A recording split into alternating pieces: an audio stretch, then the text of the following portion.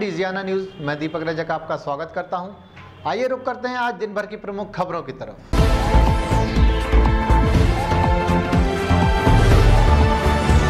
सरपंच पति की दादागिरी। रोज़गार सहायक प्रभारी सचिव को लगाई जमकर पिटाई। पूरा मामला कैमरे में हुआ कैद। आपको बता दें कि ग्राम भैसाना की सरपंच लटूरी बाई के पति, सरजंग सिंह यादव ने प्रभारी सचिव एवं रोज़गार सहायक भगवत सिंह यादव को जमकर लात घूसों से पीटा। भगवत सिंह का आरोप है कि सरपंच पति सरजन सिंह यादव अपनी पत्नी लटूरी बाई के हस्ताक्षर खुद करता है। साथ ही उसने सचिव को गालियाँ दी और तो डंडों से भी पिटाई की। सरजन सिंह ने उसकी आईडी मांगी। जो आईडी न देने पर उसने मना किया तो उसकी पिटाई लगा दी। सरपंच पति पर आरोप है कि वे दस्तावेजों के हेराफेरी कर लाखों रुपए की चपत पहले ही लगा चुका है। वहीं रोज़गार सहायक भगवत सिंह यादव ने बताया कि वह रावगढ़ थाने में जाकर जब रिपोर्ट दर्ज कराना चाहता था तो उसकी रिपोर्ट भी नहीं लिखी गई। उसके बाद उसने सीएम हेल्पलाइन एवं राज्यपाल के नाम शिकायतें भेजी। तरह से सरपंच पति अपनी गुंडागर्दी के दम पर लाखों रुपए की चपत पहले ही शासन को लगा चुका है और प्रशासन के नुमाइंदे अब भी चुप बैठे हैं। देखने लायक होगा कि इस मामले में प्रशासन क्या रुख अपनाते हैं।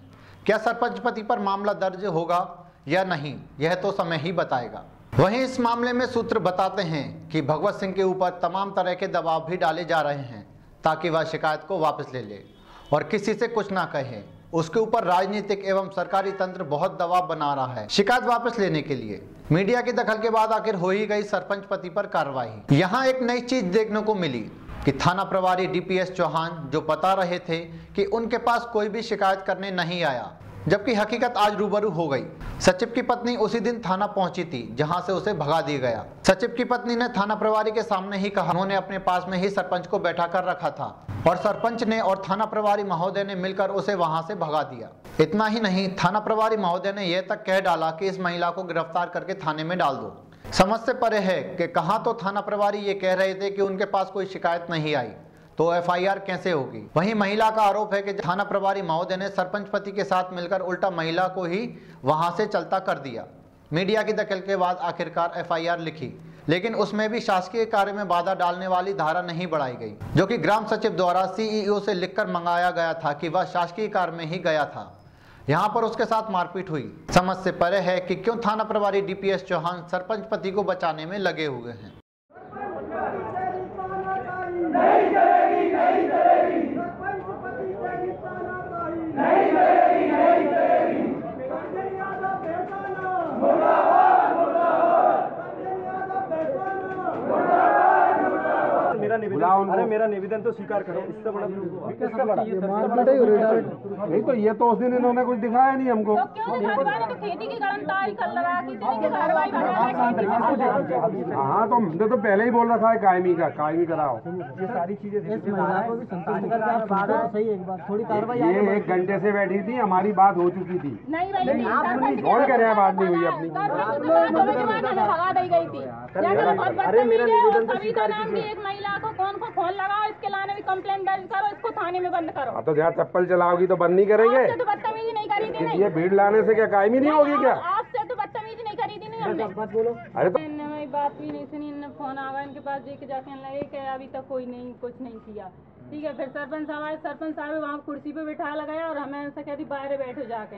और हमने फिर सरपंच साहब की हमारी बात चल रही थी तो इतने मुझे कहा अरे बड़ी बदतमीज इतना बड़ा हमारे आदमी को मारा है उसका क्या? अरे तो मारा है तो उसकी रिपोर्ट हो रही थी ना। कहाँ हो रही थी क्यों? तुमसे बोला तो था मेडिकल कराएँगे, लेके आओ। महिला अरे तुमको बोला था तत्काल लेके आओ मेडिकल कराओ।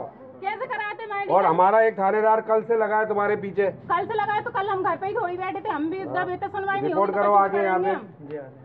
मैंने जब सुने- information थाने में आए एक बार भी। आप इन्फॉर्मेशन तो प्राप्त हो चुकी थी नहीं रहा कुछ इन्फॉर्मेशन तो आपको प्राप्त हो चुकी थी। मैंने देखो सौ नंबर मेडिकल नहीं होगा तो कार्रवाई हो जाएगी आदमी है? सामने नहीं आएगा दिखेगा अरे तो ये क्या उसकी मैसेज आ भैया, ये क्या आकाशवाणी हो रही थी? ये दिखाया था क्या? तो पेश किया था क्या थाने दिन में से पाँच दिन से वायरल हो रहा है ये चीज़ आपके पास नहीं ये देखो सर? पाँच दिन से वायरल हो रहा है। हमारे पास नहीं पहुँची हमारे पास ये देखो इस पे सोना चार बजे का समय था शाम को, पाँच पाँच ग्यारह दो हज़ार सत्रह का। मैं अपनी पंचायत से तुमन केरी गाँव लगता है भैसाना पंचायत में। उसमें पी आवास एक अधिग्राही पी आवास का काम भी शुरू नहीं किया, उसके पास जा रहा था। और एक पी आवास अधूरा पड़ा, उसको सलाह देने के लिए जा रहा था। किसी भी रास्ते में सरपंच साहब आ गए और तुरंत गाली गलौज के साथ मेरे साथ मारपीट करने लगे। मैंने बहुत कहा कि सरपंच साहब मारपीट मत करो।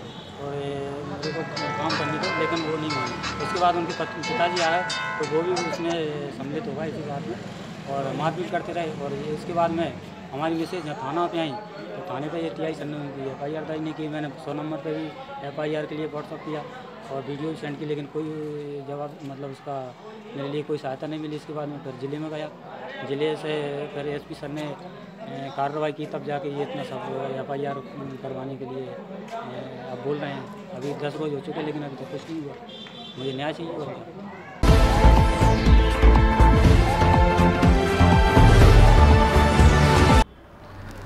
जिला पंचायत सभा कक्ष में आज सामान्य सभा की बैठक का आयोजन किया गया। इस बैठक में मुख्य मुद्दे वृक्षारोपण को लेकर थे। साथ ही जिला शिक्षा अधिकारी एवं जिला परियोजना समन्वयक द्वारा शाला निरीक्षण एवं कार्य की समीक्षा एवं जानकारी लेना था। इस बैठक में अर्चना बबलू चौहान के पी सिंह बागड़ी एवं समस्त अधिकारी और जनप्रतिनिधि मौजूद रहे।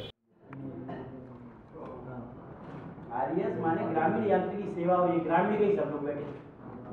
और की इंजीनियर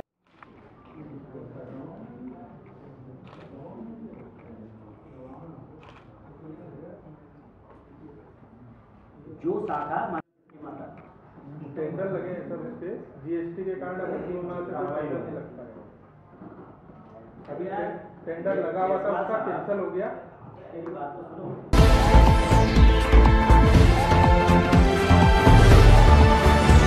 दिसंबर में होने जा रहे राधोगढ़ नगर पालिका चुनाव को लेकर तैयारियाँ शुरू हो गई हैं। इसी के मद्देनजर आज वार्डों का आरक्षण प्रक्रिया अपनाई गई। यहाँ पर नवीन कलेक्ट्रेट भवन में जनप्रतिनिधियों के सामने आरक्षित वार्डों का चुनाव किया गया। इस प्रक्रिया में महिला अनुसूचित जनजाति आदि का चयन किया गया। वार्ड नंबर आठ। अन्य पिछड़ा वर्ग। चलो, और निकाल। महिलाओं का विस्मय से वार्ड नंबर तीन। अन्य पिछड़ा वर्ग। चल, बच्चे, और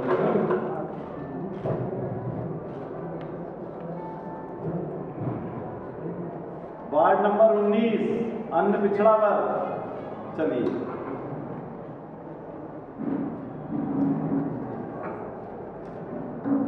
वार्ड नंबर 12 अन्य पिछड़ा वर्ग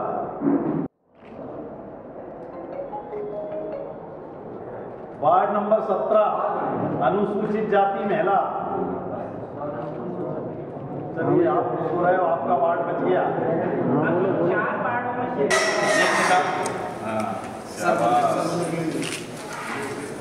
वार्ड नंबर 24 अनुसूचित जाति महिला। देखिए, आज नगर पालिका राधोगढ़ विजयपुर का जो निर्वाचन संपन्न होना है आगामी दिसंबर जनवरी में, उसके लिए वार्डों के आरक्षण की प्रक्रिया संपन्न हुई है और जो नियमानुसार विभिन्न वार्ड, अनुसूचित जाति, अनुसूचित जनजाति, अन्य पिछड़ा वर्ग, अन्य पिछड़ा वर्ग महिला एवं मुक्त का आरक्षण हुआ है और जो 24 वार्डों का आरक्षण होता था, वो सभी के सामने प्रक्रिया संपन्न की गई है।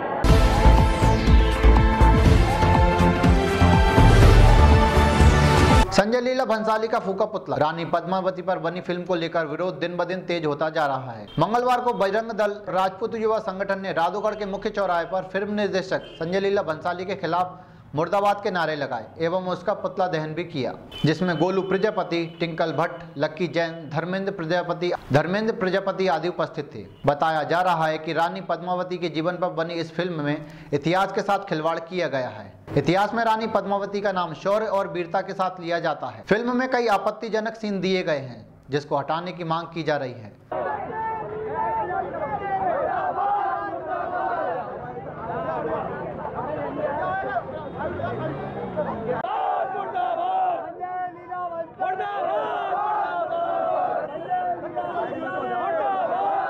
राधोगढ़ से हमारे सहयोगी कमलेश सैनी की रिपोर्ट।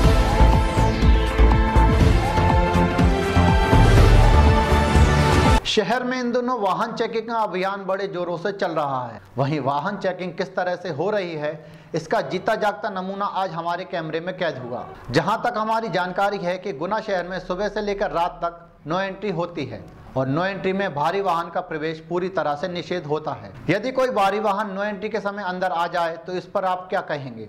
पुलिस की चूक या मिली भगत? हम बात कर रहे हैं टेकरी रोड की, जहाँ पर आज एक डंपर, जो कि नो एंट्री के समय शहर में घूमते हुए टेकरी रोड पर पहुँचा। वहीं एक महिला और उसकी बच्ची इस डंपर से टकराते हुए बाल बाल बची। हालाँकि इसमें चालक की कोई गलती नहीं थी। उसके बाद भी ट्रक चालक मौके से फरार हो गया। लोगों के हाथ लगा तो बस क्लीनर और क्लीनर ने जो कहा उसको सुनकर आप भी दंग रह जाएँगे। क्लीनर ने बताया कि उनकी एक दलाल के साथ सेटिंग है, जो पुलिस के साथ मिलकर उन्हें नो एंट्री के समय में भी शहर में प्रवेश दिलवाता है। बात चल रही थी कि अचानक उसके पास एक फ़ोन आता है। उस फ़ोन की रिकॉर्डिंग अगर आप सुनेंगे तो कहेंगे, क्या कलयुग है? फ़ोन करने वाला कौन था, ये हम नहीं जानते, पर उसने पुलिस विभाग के एक व्यक्ति का नाम लिया और कहा कि, कोई बात नहीं, गाड़ी जाने दो, हमारी सेटिंग है, गाड़ी छुड़वा लेंगे। हालाँकि वहाँ खड़े लोगों ने पुलिस को पहले ही फ़ोन कर दिया था। इसके बाद दो पुलिसकर्मी वहाँ मौके पर पहुंचकर डंपर को साथ ले गए। इसके बाद क्या हुआ यह जानना हमारी भी उत्सुकता थी जो कि ट्रैफ़िक थाना प्रभारी से मिलकर ही दूर होगी जो आज हमें नहीं मिल पाए। कौन को फ़ोन है वो? हेलो? हाँ। बोलो। अरे भाई साहब आ रहे हैं अपने पुलिस में आएँगे भाई साहब आ रहे हैं क्या हुआ है गाड़ी? अरे है? पुलिस पुलिस का घर था तुम नहीं यहाँ पर जाए। मैं तो यही तो रहा हूँ हैं? हैं? अरे मेरा फ़ोन लगा था, फ़ोन नहीं उठा रहे मैं तुम तुम कह दो गाड़ी न जाए कोई परेशानी ना खाली हो जाने में है हैं लेंगे अरे पुलिस वाला कर रहा है वो खाली हो जाएगी। आज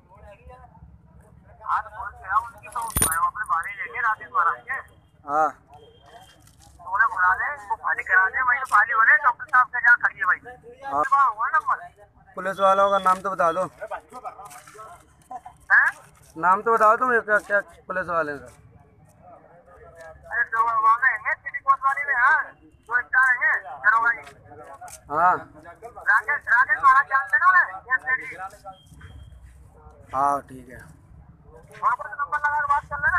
हाँ।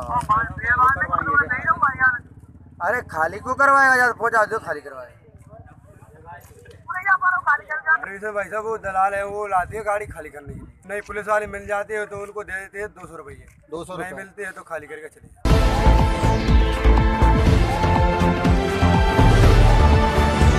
वार्ड क्रमांक 32 गुलाबगंज खेजर रोड के लोगों ने बताई अपनी समस्याएँ। कैंट से लेकर खेजरा की ओर जो रोड जाती है, उस पर नालियों का गंदा पानी बहता रहता है। वहीं रोड पर काफ़ी गहरे गड्ढे भी हो चुके हैं, जिनमें पानी भरा रहता है। कई बार तो कई वाहन वहाँ से बड़ी तेज रफ्तार से निकलते हैं, जिससे गड्ढों में भरा पानी राहगीरों पर उचट जाता है। जिससे वहाँ रहने वाले व निकलने वाले लोगों को खासी परेशानियों का सामना करना पड़ रहा है। वहाँ के वार्डवासियों का कहना है कि कई बार इसकी शिकायत वार्ड पार्षद व नगर पालिका में की है, लेकिन आज तक कोई सुनवाई नहीं हुई। इससे यहाँ के लोगों को परेशान होना पड़ रहा है। अब देखने लायक होगा की हमारी इस खबर का असर जिला प्रशासन और नगर पालिका के ऊपर कितना होता है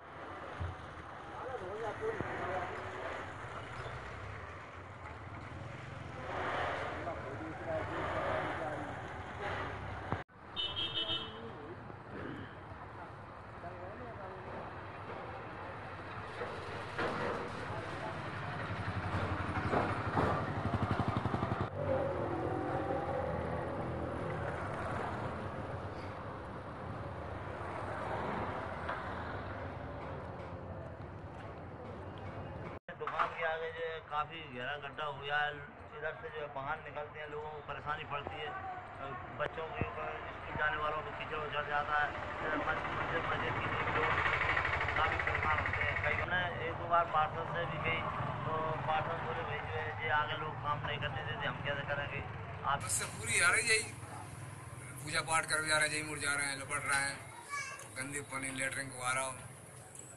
पूरा मतलब जो जगह पर पूरा पानी इकट्ठा हो जाता है। और परेशानी है ऐसी भरने का पानी तो सब लोगों को आ रहा हो। नहीं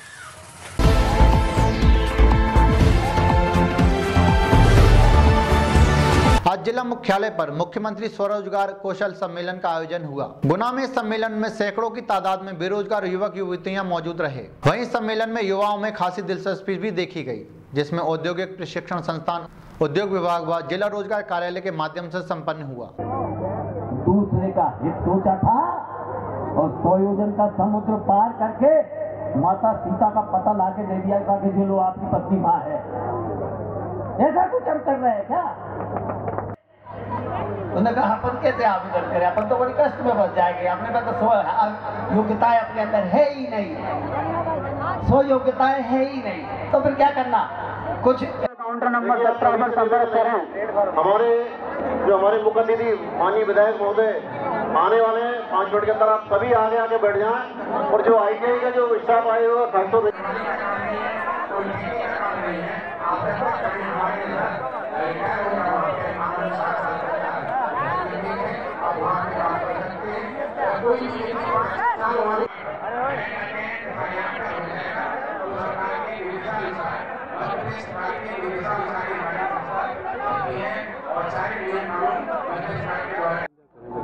माननीय प्रधानमंत्री महोदय एवं माननीय प्रदेश के मुख्यमंत्री शिवराज सिंह जी चौहान जी के द्वारा जो है, प्रदेश को किस प्रकार से सुदृढ़ बनाया जाए और एकीकृत तरीके से युवाओं को कैसे रोज़गार प्रदान किया जाए, माननीय मुख्यमंत्री जी का कहना ये है कि भी हम सभी लोगों को सरकारी नौकरी नहीं दे सकते परंतु स्वयं का रोज़गार स्थापित करके हम दूसरे को भी रोज़गार दे सकते हैं, ये माननीय मुख्यमंत्री जी का मुख्य उद्देश्य है। उसके साथ में प्रधानमंत्री जी के संयुक्त कार्यक्रम के साथ में जो कौशल विकास और कौशल्य विकास, कौशल विकास सेंट्रल गवर्नमेंट की स्कीम है और कौशल्य विकास जो है हमारी मध्य प्रदेश शासन की स्कीम्स है और कौशल्य विकास का परिवर्तित रूप ही यानी कौशल विकास है। इसके माध्यम से ही बच्चों को ट्रेनिंग देकर और उसको रोज़गार के योग्य बनाना।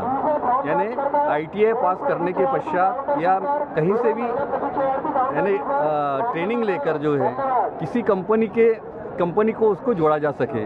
ये उसका मुख्य उद्देश्य है। और बच्चे लोग उसके साथ में कंपनी में रोज़गार प्राप्ति के साथ में वो अपना स्वयं का भी रोज़गार स्थापित करे, ताकि वो दूसरे को भी रोज़गार स्थापित करे। ये उनका एक मुख्य उद्देश्य है। और ये तीनों विभाग जो संयुक्त रूप से कार्यक्रम को आयोजित किया है और इसमें सभी गुना ज़िले के युवक और युवतियाँ आई में और हायर हायर एजुकेशन के बच्चे यहाँ पर आमंत्रित आए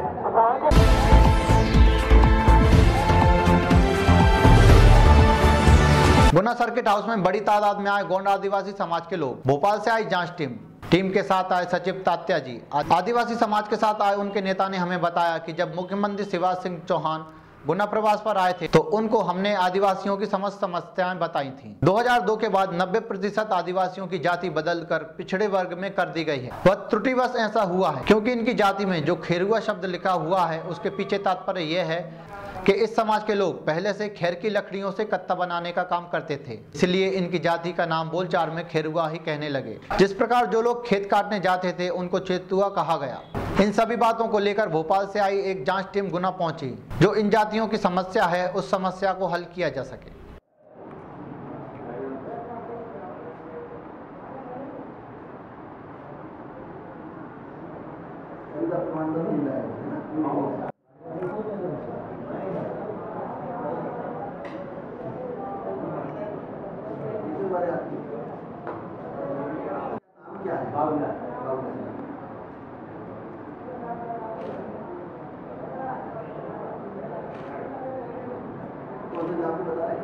आज गौड़ आदिवासी समाज के सभी लोग यहाँ एकत्रित हुए हैं क्योंकि हमने पहले जब मुख्यमंत्री महोदय गुना प्रवास पर आए थे उस दौरान मुख्यमंत्री महोदय को एक ज्ञापन दिया था। अ, साथ ही भोपाल जाकर भी मुख्यमंत्री महोदय से हम मिले थे और जनजातीय मंत्रालय के माननीय मंत्री जी से भी हम सबने भेंट की थी और उनको अनुरोध किया था कि हमारी जो समस्या है उसका निराकरण करें आप। कि 2002 के बाद जो हमारे गौड़ आदिवासी हैं उनकी 90 परसेंट लोगों की जाति बदलकर पिछड़े वर्ग में कर दी है। वो त्रुटिवश हुआ है ऐसा। कहीं ना कहीं भ्रम हुआ है क्योंकि इनकी जाति में जो खैरुआ शब्द लिखा गया है खैरुआ के पीछे तात्पर्य ये था कि ये खैर की लकड़ी से कत्था बनाने का काम करते थे। इसलिए इनकी जाति आम बोलचाल में लोग खैरुआ इनसे कहने लगे, जैसे कोई चैत काटने जाता है और उससे लोग चैतुआ कहते हैं। उसी प्रकार इनको भी खैरुआ लोग कहने लगे, जिस प्रकार चैतुआ कोई जाति नहीं है, उसी प्रकार खैरुआ भी इनकी जाति नहीं है। लेकिन संयोग से खैरुआ भारत सरकार द्वारा जारी की गई सूची में पिछड़े वर्ग में दर्ज है। इसलिए इनकी जाति पिछड़े वर्ग में मानते हुए खैरुआ जाति दर्ज की गई। हमने वस्तु स्थिति से प्रशासन को, शासन को अवगत कराया है। और निश्चित रूप से हमें ऐसा लग रहा है कि माननीय मुख्यमंत्री ने हमारी मांग को गंभीरता से लिया है और जो जाँच दल भोपाल से आया है जो सचिव स्तर के अधिकारी आज यहाँ उपस्थित हुए हैं उनके समक्ष हमारी जाँच चल रही है। हमें पूरा विश्वास है कि हमारी मांग पूरी होगी उस पर गंभीरता से विचार होगा जाँच में सब कुछ स्पष्ट हो जाएगा और हमारी मांग पूरी होगी। जो गलती हुई है उसको प्रशासन को सुधारने के लिए वरिष्ठ स्तर से आदेश जारी होंगे ऐसा विश्वास है। आप मंत्रालय से आए हैं सचिव स्तर के अधिकारी हैं श्री कातिया जी।